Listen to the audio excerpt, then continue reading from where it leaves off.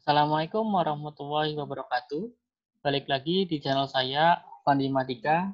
Kali ini saya akan membahas tentang soal UTBK yang bikin deg-degan UTBK tahun 2019 kemarin ya. Oke, kita langsung saja bahas soal-soalnya. Dari nomor satu, let's go. Nah, ini kita lanjutin episode kemarin ya. Dari kemarin itu kan dari nomor 1 sampai nomor 8 udah kita bahas di video kemarin. Kita lanjutin lagi ke pembahasan nomor 9. Oke, pembahasan nomor 9 gini soalnya. Perhatikan grafik parabola berikut. Di sini ada titik min 2, di sini ada 4, di sini ada min 8. Manakah pernyataan yang benar? Nomor 1, sumbu simetri X sama dengan 1. 2, titik puncak 1, min 9. 3, fx sama dengan S kuadrat min 2 S min 8. 4 nilai D lebih besar daripada 0. Oke, kita tahu bahwa yang kita cari itu, ini ada trik cepatnya ya. Biar lebih simpel, ini ada trik cepatnya. Kalau misalnya sumbu simetri, berarti kita garis tengah-tengahnya nih, teman-teman ya. Nah, ini sumbu simetri ya namanya ya. Sumbu simetrinya itu dia di mana sih? Triknya gini. Kalau misalnya sumbu simetri, ini yang sebelah kiri berapa? Min 2 ya. Ini sumbu simetri. Berarti yang di sebelah kiri min 2, kita jumlahin aja ya. Di sebelah kanan berarti berapa X? 4 ya. Dibagi sama 2. Soalnya dia buat nyari yang tengah-tengah sini itu berapa. Ini sumbu simetri itu sama kayak X ya. XP-nya berapa sih? Ini sumbu simetri. Berarti sama dengan min 2 tambah 4. Jadinya berapa? 2 dibagi 2. Hasilnya berapa? 1 ya. Maka sumbu simetrinya sini berapa? 1. Benar nggak, teman-teman? Benar ya. Sumbu simetri sama dengan satu. Nah, gini. Kalau misalnya nomor satu itu benar, maka udah pasti nomor tiga juga benar ya. Nah, satu sama tiga itu saling berhubungan ya. Pokoknya kalau satu benar, otomatis tiga benar. Itu trik stepnya ya. Maka kita tahu nih, berarti fx-nya, fungsinya ya, fungsi kurvanya udah tahu bahwa langsung ketemu nih fx sama dengan X kuadrat min 2X min 8 ya dari pernyataan nomor 3. Nah, sekarang kita coba nih pernyataan nomor 2. Titik puncak 1, min 9. Titik puncaknya kan tadi apa? Atau sumbu simetrinya itu min 1 ya. Eh, sama dengan 1. Gini ya. XP sama dengan 1. Ini titik puncaknya. Berarti untuk titik puncak yang lain, ini kan 1, berapa ya. Kita tinggal masukin aja. Maka YP sama dengan titik puncak itu berarti di mana? Di sini nih. Pokoknya kalau sumbu simetrinya satu berarti titik puncak YP-nya berapa? Kita tinggal masukin aja ya. Berarti satu kuadrat dikurangin 2 kali 1 dikurangin 8. Jadinya sama dengan satu kuadrat. 1 dikurangin 2 dikurangin 8. Hasilnya berapa teman-teman? Hasilnya min 9. Iya benar ya. Berarti titik puncaknya, titik puncak titik puncak itu kan XP, YP ya. Nah, gini ya. XP-nya berarti berapa? XP-nya 1 ya. Sudah ketemu ya di pernyataan 1 ya. 1, YP-nya berapa? Min 9. Berarti benar nggak? Iya, benar ya. Oke. Nah, sekarang kita lanjut lagi pengujian nomor 4. Nomor 3 benar ya. Sekarang kita uji nomor 4. Bentar. Oke, sekarang lanjut ke nomor 4. Nomor 4 itu D ya, D-nya lebih besar daripada 0. Nah, D lebih besar daripada 0. Nah, D itu apa? D itu diskriminan. Diskriminan itu gini, B kuadrat min 4AC ya, teman-teman ya rumusnya ya. Lebih besar daripada 0. Nah, B itu yang mana? A itu yang mana? C itu yang mana? Itu dari fungsinya. Fungsinya tadi apa? fx sama dengan X kuadrat min 2X min 8 ya. Dari pernyataan nomor 3. Maka A-nya berarti berapa? A-nya itu yang di depan nih. Kalau nggak ada berarti 1 ya. A-nya sama dengan 1. B-nya itu yang ini ya. Di depannya X. Berarti B-nya itu min 2. C-nya itu yang ini ya.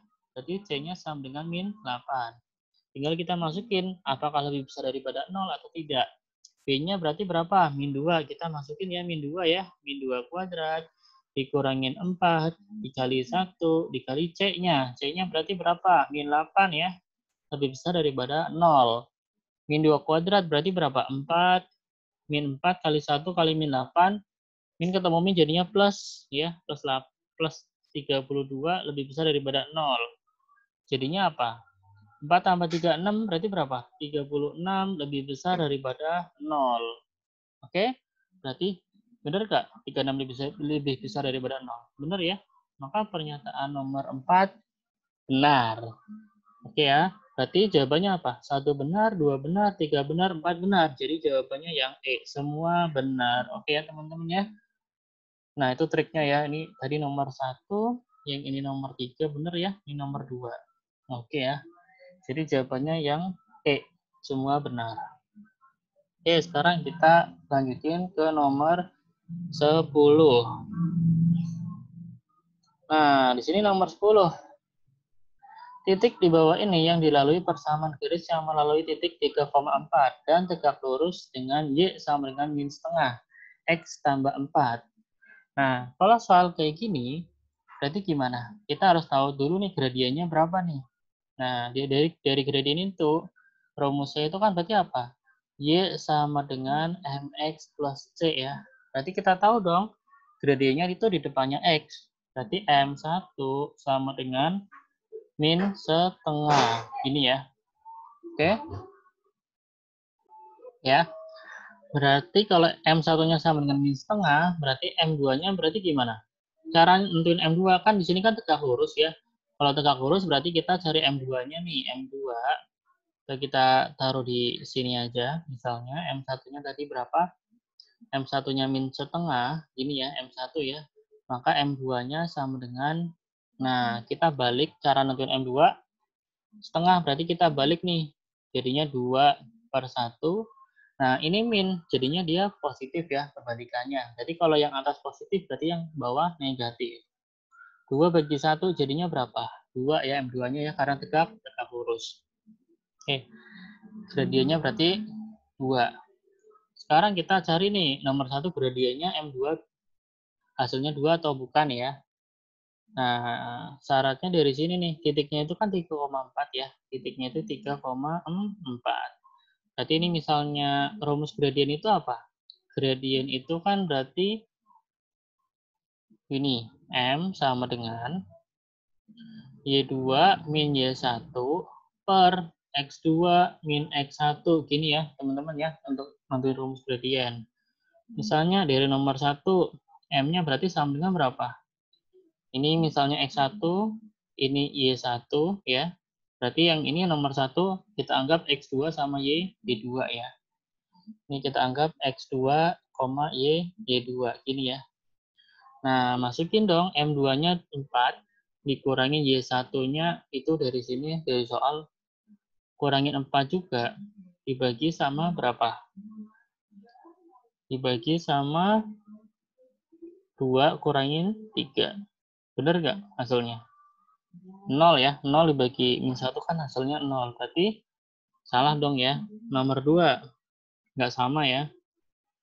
Nah, M-nya sama dengan berapa? 2 dikurangin 4. Ini ya. Dibagi sama 2 dikurangin 3. Berarti sama dengan min 2 dibagi sama min 1. Hasilnya berarti berapa? 2 cocok ya. Nomor 3, M-nya sama dengan, berarti gimana? 2 dikurangin 4, dibagi 1 kurangin 3. Hasilnya berarti berapa? Min 2 dibagi min 2. Hasilnya 1 ya, bukan ya. Yang keempat, yang keempat M-nya sama dengan, masukin juga ya. Min 2 kurangin 4, dibagi sama 0 kurangin 3. Berarti sama dengan uh, min 6 dibagi min 3. Hasilnya berapa? 2. Nah, di sini kan titik di bawah ini yang dilalui persamaan garis. Berarti kalau dilalui, berarti yang sama ya, teman-teman ya. Nah, sama berarti berapa gradiennya? 2, berarti sini 2, sini 2. Berarti yang benar berarti berapa?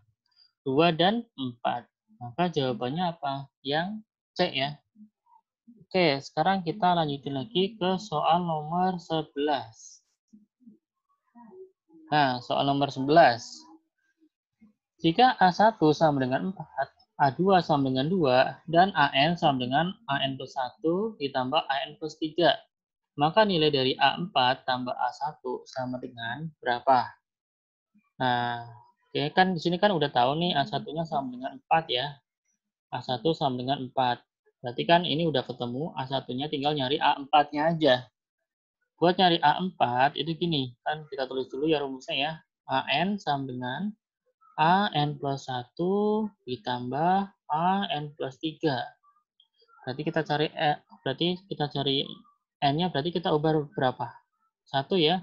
Berarti A1 sama dengan A1 tambah 1 berarti 2 ditambah A1 tambah 3 berarti 4. Gini ya. Nah, kita masukin aja A1-nya berapa? 4 sama dengan A2-nya. 2 ditambah sama A4. A4-nya belum tahu. Nah, tinggal kurangin aja nih. 4 kurangin 2 berarti berapa? 2 sama dengan A4. Ini ya. Nah, berarti udah ketemu nih. A4-nya sama dengan 2. Yang dicari apa? A4 ditambah A1. Berarti sama dengan 2 ditambah sama 4. Hasilnya berapa? 6. Iya, kalau berarti jawabannya yang mana? Yang B. Oke ya. Sekarang kita lanjutin lagi ke soal nomor 12. Nah, soal nomor 12 gini. Kurva Y sama dengan X kuadrat min 5. Dan garis Y sama dengan 2X plus 3 akan berpotongan di titik. Nah, gini. Ini ya. Um, syarat berpotongan. Syarat berpotongan ya. Syarat ber potongan. Kalau syarat berpotongan itu tinggal ini aja, Y1 sama dengan Y2. Artinya apa nih? Misalnya ini Y1 ya. Ini misalnya Y2. Tinggal masukin aja, berarti X kuadrat min 5 sama dengan 2X tambah 3. Gini ya. Terus pindahin ke sebelah kiri. Jadinya apa? X kuadrat min 2X min 5 kurangin 3. Berarti min 8 sama dengan 0. Kita faktorin ya teman-teman ya. Oke, kita faktorin. Berarti jadinya S kuadrat berarti sini X, sini X. Min 8 berarti berapa sama berapa min 8 itu? Min 8 itu berarti min 4 sama sininya plus 2. Maka X-nya sama dengan min 2 atau X-nya sama dengan berapa? 4. Gitu ya. Min 2 sama 4. Nah, di sini X-nya min 2 sama 4 nih ada semua ya. Kita uh, tinggal masukin nih kalau misalnya X-nya sama dengan min 2, kita masukin ke salah satu garisnya ya, atau kurva. Nah, atau enggak kita masukin ke sini nih, yang simple ya, pakai Y2. Y sama dengan 2X plus 3. Kita masukin aja ya, maka Y-nya sama dengan 2 dikali min 2 ditambah sama 3. Maka sama dengan min 4 tambah 3. Hasilnya min 1. Berarti kalau misalnya X-nya sama dengan 2, min 2, maka Y-nya sama dengan min 1. Ada nggak min 2 sama min 1? Ada ya, yang ini ya. Coba kita kalau misalnya X-nya sama dengan 4. Kalau X-nya sama dengan 4, maka Y-nya berapa nih? Y sama dengan, masukin ke rumus 2X plus 3 lagi ya. 2 kali 4 ditambah sama 3. Berarti 8 ditambah sama 3 ya. 8 tambah 3 hasilnya berapa? 11. Kalau X-nya 4, maka Y-nya berarti 11.